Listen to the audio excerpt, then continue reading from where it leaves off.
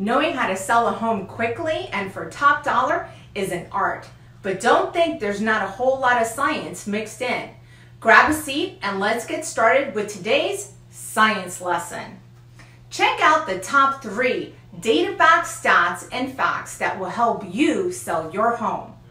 Number one, 80% of buyers know if they want a home within a matter of seconds. So what does this mean? Spice up your entryway, but keep that foyer clean and clear of clutter.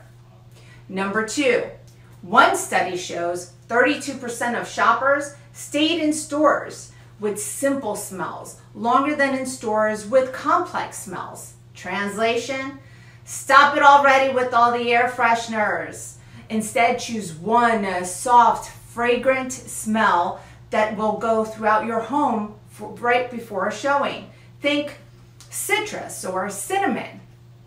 Number three, buyers love a staged home.